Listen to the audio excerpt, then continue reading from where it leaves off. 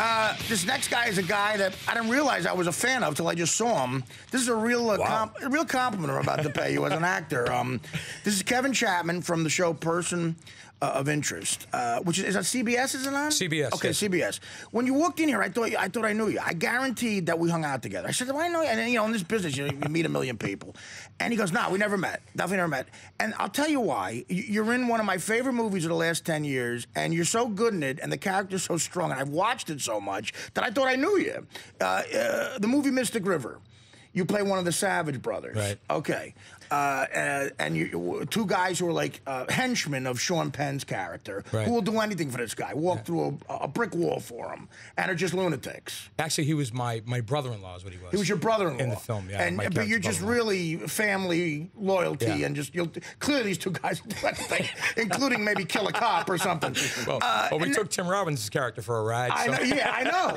So you, by the way, so great job in that. Thank man. you, I've thank very watched that movie over and over. So uh, again, give me, give me what it's like to work. First of all, Clint Eastwood directed it. Yeah. Sean Penn. What, what, give me, give me what that's like for an actor at that point. Like, Well, I mean, for me, it was really a unique, uh, unique situation because you know I didn't start acting until I was 37 years old. Right. So I hadn't had a lot of experience prior to getting the gig. You're obviously you a? Boston guy. Yeah, I grew up in Uh, Boston, okay. but I, I, I, um, I, you know, I moved to Los Angeles and I studied acting for uh, probably about two years prior to getting that gig. Uh-huh. And uh, it was funny. So when we, when I, when I, you know, I heard I got the job and I flew back to Boston.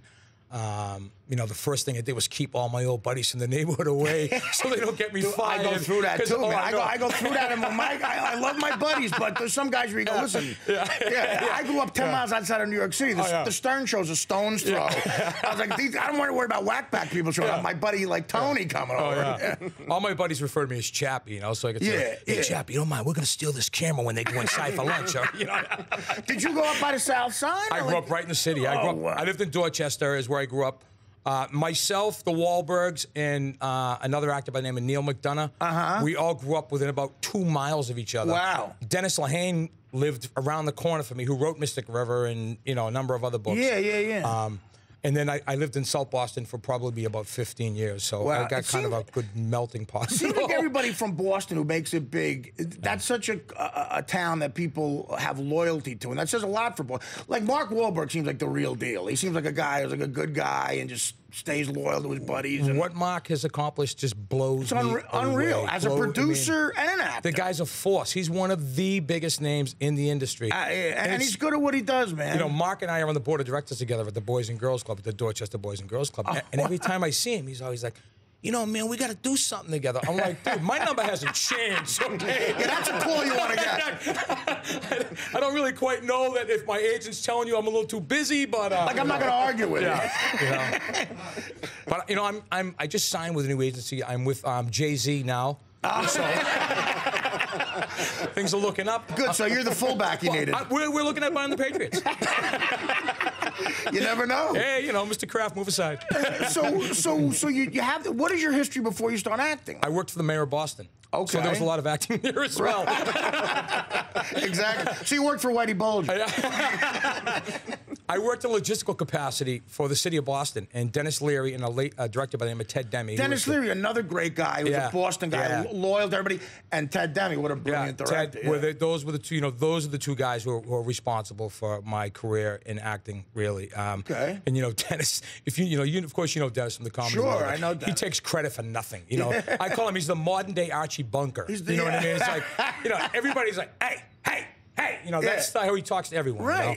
But you know what I love about Denis is he puts on this big bravado and this big, you know, kind of uh, guy with an edge. But you know what? If you, you know, if somebody's house got burnt down or, you know, somebody's kid got hit by a car or something, you know, Denis would be the first guy to write a check. He'd be the first guy there to help Unbelievable him. guy. No, I, mean, know. I did yeah. seven. Ep- I did seven episodes of Rescue Me. I did seven too. Yeah, well, yeah. it's, uh, you know, and, I got to tell you, man, what a generous guy. Oh, yeah, great. And he's, uh, I've done a couple of his charity stand-up gigs since then, and the intro he gives me at these stand-up gigs, he tells tells people I'm a great actor. Yeah. Like you think I was Brando walking out like, he, I mean, he's, he builds you up, Yeah. and when I went through my time of need, he Yeah. was right there, man. And, Yeah. and just a, good- I, I- and Wahlberg seems like the same kind of guy. Like, yeah, you know, I just think you know what it is. If Boston is like a big city with a small town mentality, Right. And that's really, I think, where it, what it what it comes from. You know, Yeah, it's like yeah. everybody is kind of all for one and one for all.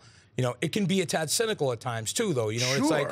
Oh, it's a double-edged sword, Yeah, man. you know, Yeah, like you, you know, you, you. I remember like the first, you know, like I could win the lottery tomorrow, and, Right. And you know, the guys on the bar would be like, "Hey, you know, you know, his sister's going out with Joe, who's a custodian at the lottery." I mean, I'm just saying, I'm just Exactly. saying. You know what I mean? Like, There's always yeah, something There's always a fix. He you know had an in, he had an in. Yeah. But so now, does someone say like you're a, you're a, you're a guy who could be a good actor? You should try Well, it. it was it was actually Ted Demme and Denis Leary. Uh, um, Denis said to me one day, he's like, "Hey, can you act?" And I was like, "I think so." And you know, you know, Ted, he's like us. He's Right, husky, right, you know. right, right. And Teddy says, uh, he Ted said, he's- he's husky like me. He's capable of anything, you know. and uh, so they gave me the script, and I went and read it, and and then I had lunch with him and Denis the next day. Gave them my interpretation of the character. Right. Um, no acting experience, no nothing, but What it was just project was this? It was called Monument Ave. Okay. With Billy Crudup and uh, uh, it was a great cast. Billy Crudup, Colm Meaney, Jeanne Tripplehorn, Famke Janssen. Wow. Um, it, uh, Martin Sheen, Denis. so much talent comes out of Boston too, man. Comedy and acting. It's- Yeah, yeah. Well, that's you know. And uh, writing, for Yeah, sure, yeah. exactly. Right. So um, so that that was the thing that kind of set me on way, on my way. But you know, of course. You know, you know, you grew up in the inner city. It's like, you know, you don't go down the corner and tell your buddies you want to be an actor. You don't go down and tell them you want to be. It's like, you know, score a touchdown, hit a home run, you're the king of the corner. But go down and recite poetry, and the No. guys are looking to give you a wedgie. You well, know what I mean? when I left. I was a longshoreman for two years. I didn't Oh, go really? to college. I was a longshoreman for two years at the port in Newark, and that's a job you don't find in a paper. You need to have an in. Yeah, right. And they did me an enormous favor, get me that job. You know, Yeah. I, I, I had to go to summer school to get out of high school, and when I was 22, I was making 75 grand a year unloading orange juice trucks, and uh, and losing 80 grand a year to the bookies. Yeah, right. Another story. but when I left that job, I had to tell the guy who got me the job in the union, I'm leaving to, to get in the show business. But now Yeah. he goes, and this is exactly what he said to me. He goes, "What are you talking about? Like James Caan or something?" yeah. I said, if I'm lucky, he goes, I, he goes, well, I don't get it. I don't understand what you're doing. Yeah. And almost insulted, I would leave the job and couldn't believe. Now he's like, you know, the nicest guy. He's like, ah, congratulations, but they don't Yeah. understand that. Like, Yep. what are you talking about? You're going to be an actor. Yeah. No, it, it's unbelievable. And, you know, it's funny. I knew when my career was starting to, to head on a path of success when I was no longer the brunt of the joke. Right. You know what I mean? Yeah. Like, I'd go back to the old bar at the Quiet Man Pub in Southie, and they'd walk in, they'd be like, hey, De Niro, get us a drink over here. You know what I mean? And then it became, hey, you know my friend Kevin? You know, and when Yeah, I started sure. heing that, it was like, okay, now I'm on to something. getting here, some you know? respect. Yeah. So now, okay, so you find out you're going to work with Uh, Sean Penn in a, in a role where you're real close with him, where it requires probably close Yeah. rehearsals Yeah. and everything. Yeah. Clint Eastwood directing. Kevin Bacon, Tim Robbins, a cast like crazy, in a, in a movie that ended up winning Academy Awards. So now, what is the process? How does it start? You start rehearsing early, like Well, you know, with Clint, you don't do that. I mean, first off, I knew that I had the advantage over everyone because Yeah. I was a Boston guy. And I was Right. the real thing. You know what I mean? Well, that's one thing, And but when we still, in acting in- that is hard to do. Yeah, but I, but you know, I was still kind of dumb and naive. You know what I mean? Right. With kind of more balls than brains. You know what I mean? At that point, so I remember sitting down at the table when you know the first night I got there, we're all at the Ritz and everybody's sitting around the table, and Sean could not wait to find out who I was. He the was Ritz like, Carlton right there in Boston was yeah, one of my favorite on hotels. Street, yeah, yeah. And he was, you know, Sean had his had his assistant researching me. He had everybody trying to find out as much as he could. And he told me, and he copped to it later. He's like, I hear the name Kevin Chapman. I'm thinking this guy don't sound tough. It doesn't Right. sound like a, you know. And I sat down, and and Clint was at the head of the table, and he looks up at me and he goes, "Well, kid, how do you feel?" And I looked at him and he goes, "Come on, it's a home game." You're at Fenway. yeah, and, and that was it. That kind of set the pace, you know. And we and like we hung out every night. That was, you know, it was funny because, um, you know, Kevin Bacon, I still keep in touch with to this day. As a matter of fact, I talked with him today, um, and you know, he told me like he, he he's always kind of my my beacon in the industry. Like Right. I'll, I'll always bounce things off of him because he's a guy that's done it all, and he's he's been at it at an early age. No one's more successful Yeah. than Kevin Bacon. Yeah. And, and and you know, like he said to me, he goes, you know something, chap. He goes, last time I hung out like this, he goes, was when I did Diner.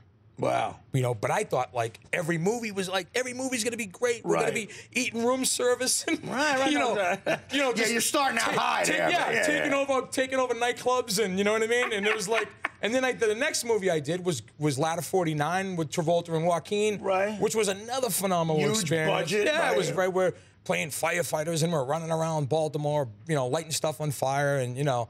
And then the next movie I did, I forget what it was, but it was like that's when it was work. No, it was uh, I think it was um, uh, In Good Company with the Okay. Weitz No, brothers. a right? big deal, yeah. But it was like it wasn't a hang. Different story. It was like Yeah. it was like putting bumpers on a Buick at General Motors. You know what I mean? It was like the That's when of- it sucks. you If it starts to feel like you're on an assembly line of like, look, I'm, I'm making a product called a movie, and it could be anything. It could be a tire. I'm Yeah, making. yeah.